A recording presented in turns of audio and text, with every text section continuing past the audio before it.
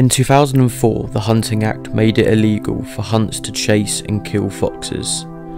This meant the hunts had to come up with a way to get around the new legislation. They had to be seen to be acting lawfully and not deliberately or intentionally killing wildlife. The solution was the notion of trail hunting, where hunts would claim to be following a pre-laid artificial trail as opposed to pursuing a live mammal.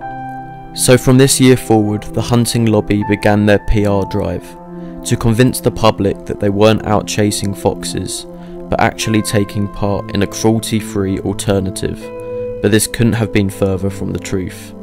For the past 16 years, hunts across the country have continually and knowingly hunted foxes and broken the law, with loopholes in the Hunting Act allowing them to get away with it through a variety of exemptions.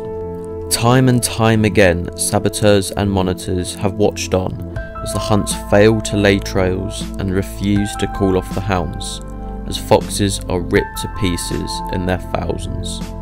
The notion of trail hunting is nothing but a trail of lies and a means of confusing the public as to what is really going on. And for too long, major landowners, such as the National Trust and Forestry England, have chosen to hide behind these lies, as hunts have used their land to kill wildlife over and over. However, in recent weeks, their lies have started to unravel.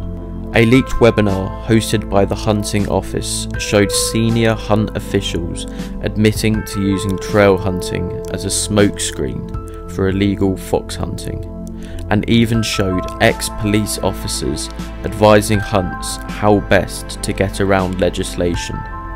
This led to nationwide press coverage, with ITV News running three back-to-back prime-time segments documenting the landowners that have decided to suspend trail hunting on their land. The lie that is trail hunting has been shattered, and the public now knows the truth. The hunts have never been trail hunting, and they never will, so long as they enjoy chasing and ripping defenceless animals to pieces.